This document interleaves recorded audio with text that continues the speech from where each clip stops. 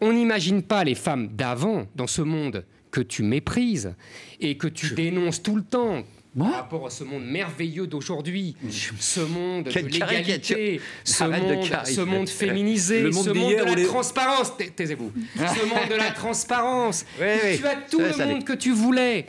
Aujourd'hui, donc Madame Giscard d'Estaing, Monsieur Giscard d'Estaing a eu sans doute autant de maîtresses, sinon plus, que François Hollande.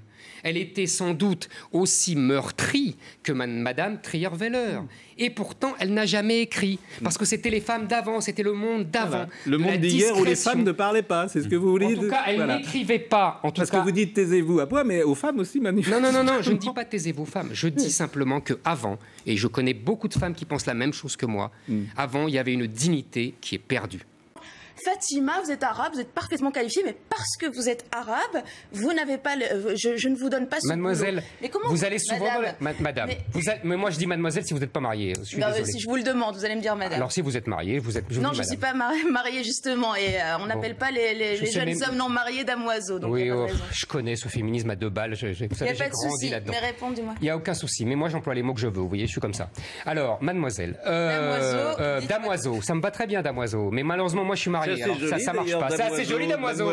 C'est- un côté c'est un côté, c'est un côté euh, les rois maudits. Mais je trouve Euh, pas justement normal et je trouve ça, intrusif de devoir signifier sur un plateau si je suis mariée Ah ou là pas. là. Bon, vous- bon, bref. Ah bah, je connais par cœur, vous savez, j'ai grandi dans les années 70. Donc, tout ce que vous avez fait, elles l'ont fait dans les années 70. Euh, dans ce- vous allez souvent dans des restaurants chinois? Euh, ça m'arrive. Ah, vous avez déjà vu un serveur non chinois? Non. Non asiatique? Vous allez alors, attaquer tous les vous- restaurants si- chinois pour discrimination Mais si je vais Est-ce que vous allez dans les restos italiens Bah, si que je vous avez postule et qu'on me dit je ne veux pas vous prendre parce que vous êtes arabe, il est tout à fait Mais possible. Ils sont pas idiots, ils vont pas vous le dire. Ils vous le diront pas. Mais le, le fait, Mais si, on est capable de jouer au football. On peut-être qu'on joue Mais- pas exactement le même football que celui des hommes, vrai, mais c'est peut-être Mais- une façon de jouer au football. Il faut quand même ouvrir les yeux. Moi, j'ai un gamin qui est encore au collège. Ben, au collège, je, l'ai interrogé. Il me dit les filles jouent avec nous au foot. C'est-à-dire que tout le monde joue ensemble. C'est-à-dire que c'est une réalité nouvelle qui est arrivée. non, c'est Et- pas- mais c'est mais c'est tant mieux. Pourquoi les filles ne joueraient Mais pas chère au foot madame. Que ça fasse évoluer le football. Mais attendez, cher monsieur.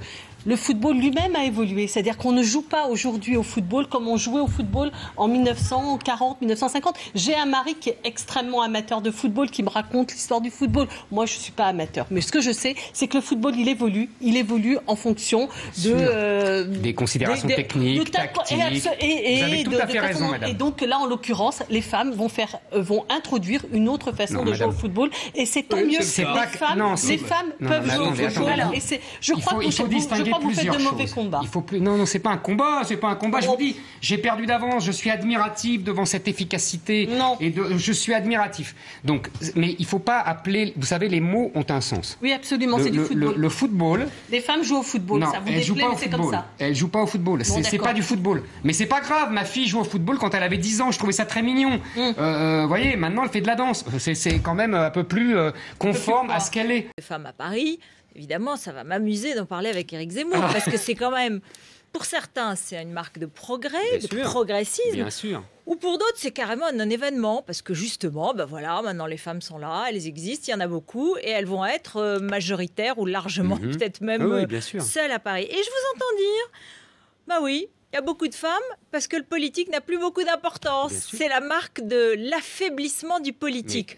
Bah, vous charriez un peu Mais quand non, mais même. À la mairie, les femmes ou les maires, alors les maires AIRES Heureux. et RES, Absolument. évidemment, ils ont du pouvoir quand même, non? Non, mais attendez, quel pouvoir elles ont? Non, mais écoutez-moi, il y a une concomitance. Alors après, moi, j'estime que c'est lié. On peut, on peut dire que c'est un hasard. Il n'empêche que vous aurez remarqué que aujourd'hui, depuis 20 ans, il y a une montée de la présence féminine dans la, la vie politique, dans les classes politiques, encore plus d'ailleurs dans les pays du Nord, vous avez remarqué, et puis ça descend petit à petit vers les pays du Sud. Or, parallèlement, concomitamment, le pouvoir s'évapore du politique. Mais c'est aussi la progression de la société, tout simplement. Mais- C'est- je, je- sais que je connais votre thèse sur l'affaiblissement du politique, ça se Mais- discute. Mais, Mais c'est indépendant, c'est aussi, une- c'est aussi une parité qui avance dans Regardez, les différentes dans- sociétés, dans et heureusement. Mais pas du tout. Dans les milieux où il y a vraiment le pouvoir, il n'y a pas de femmes. Dans la finance, c'est infinitésimal, c'est marginal. D'ailleurs, d'ailleurs, les féministes m'ont beaucoup amusé en 2008. Elles ont dit s'il y avait eu des femmes dans la finance, il n'y aurait pas eu la crise. Donc, voyez, on ne peut pas dire tout et tout le contraire de tout. Donc, vous voyez, c'est mais, parce que je pense qu'il y a un lien. Euh, alors là, on remonte à la nuit des temps entre le pouvoir euh, et la virilité. Je pense que, en fait, les hommes ont inventé le pouvoir. Mais ça vous inquiète, rassurez-moi. C'est-à-dire C'est-à-dire que le pouvoir ne doit pas rester seulement dans la main des ah, hommes. bien sûr que si, sinon il, sinon il se dilapide. Les, les, femmes sont les régentes. C'est dans l'histoire de, France, ça a toujours été comme ça. Oui, mais euh, il faut le Elles partager. ne n'expriment pas le pouvoir. Elles n'incarnent pas le pouvoir. C'est comme ça. C'est, c'est, je vous dis, le pouvoir s'évapore dès qu'elles arrivent. Est-ce que c'est le rôle, Eric Zemmour, des entreprises de lutter euh, contre les discriminations? Ensuite, je vous donne la parole. Moi, je, mais je vous pose la question. Mais vous pouvez me poser la question. c'est la question qui, qui se, qui se, qui doit plutôt être posée à Madame Chiappa, puisque les ah euh, non, parce que pour moi, les entreprises, justement, je vous ai répondu tout à l'heure, les entreprises, elles doivent uniquement respecter la compétence. Le reste, on s'en moque. Et qu'il y ait que des hommes ou que des femmes, je m'en moque complètement, ou que des, des vous avez compris.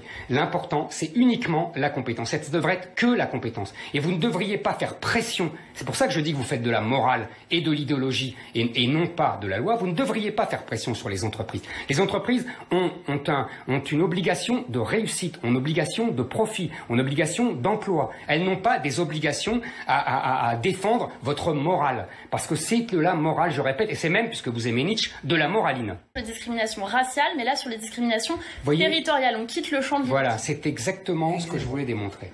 C'est que c'est sans fin votre histoire. C'est sans fin. Vous allez trouver toujours des gens légitimement ou pas légitimement, qui vont se plaindre des discriminés. Vous fabriquez des victimes éternelles. Vous fabriquez des aigris. La vérité, c'est qu'il ne faut pas tenir ce discours aux gens. Il faut leur dire, c'est uniquement par le mérite et l'effort qu'on y arrive. Et ça a marché pendant des siècles en France. C'est que depuis 30 ans qu'on a cette idéologie délétère de la non-discrimination que ça ne marche plus. Parce que tout simplement, chacun se dit, ah bah oui, moi j'ai échoué, mais c'est parce que j'ai été discriminés. C'est ça, le, peut-être la plus grande perversité de votre, de votre idéologie. Et ça, vous il n'y a pas victime, selon vous Vous croyez qu'en plus c'est bien Non, c'est mal. Et c'est mal et ça fait du mal aux gens. vous savez, moi je pense que euh, le, féminisme, en fait, a eu un, un effet. C'est de permettre aux femmes de la grande bourgeoisie de voler aux vrais prolétaires leur statut de prolétaire. Parce que ces femmes de la grande bourgeoisie qui se prennent pour euh, euh, des, des, femmes qui ont été martyrisées et tout, c'est faux. Les, vrais prolétaires, c'est les hommes et les femmes du prolétariat, les ouvriers, les paysans. Et mhm. ce Et c'est pas euh, Madame de Beauvoir et Madame Badinter. Hein, mhm. Elles, elles n'ont jamais souffert de la domination. Jamais.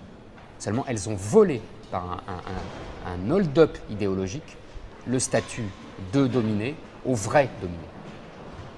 Alors, il faudrait savoir qu'est-ce que les aspirations réelles des femmes?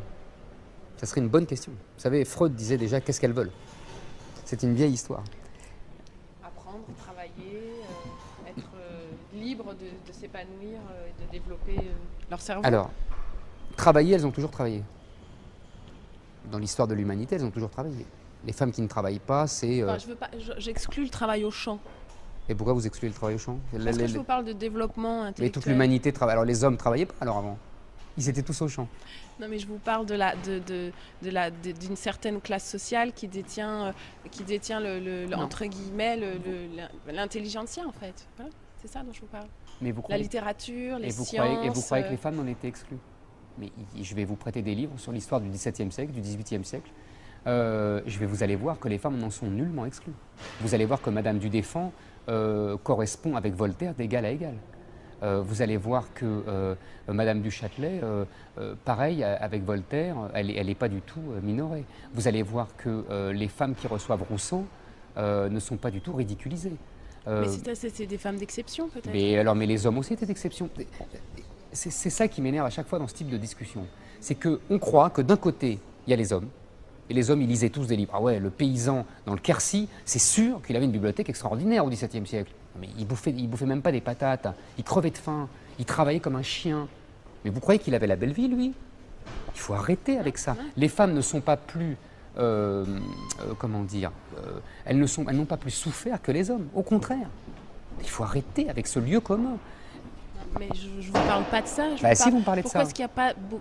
Enfin, vous n'allez pas me dire qu'il y a beaucoup de livres écrits par, des, femmes, c'est un vrai problème pour les femmes. parce que les femmes créent moins et transgressent moins que les hommes. Parce que les femmes ont une forme d'intelligence différente de celle des hommes. Je suis désolé de le dire. Et que les grands génies sont hommes. Je sais que ça ne se dit pas ça aussi, c'est pas féminin correct, mais c'est la vérité. C'est-à-dire que euh, ceux qui osent transgresser sont des hommes. C'est pas des femmes, c'est comme ça. À part de rarissimes, euh, rarissimes exceptions qui existent évidemment, mhm. mais c'est comme ça. Mais c'est aux femmes de se poser la question. Elles n'ont pas la même forme d'intelligence que les hommes. Elles n'ont pas la même forme d'approche euh, de des choses que les hommes. Oui, il y a une vraie question. Mais, pourquoi, votre avis? Pourquoi? Il faut demander au bon Dieu. Ah oui Peut-être qu'il a une réponse, lui, on ne sait jamais. On lui demande jamais rien.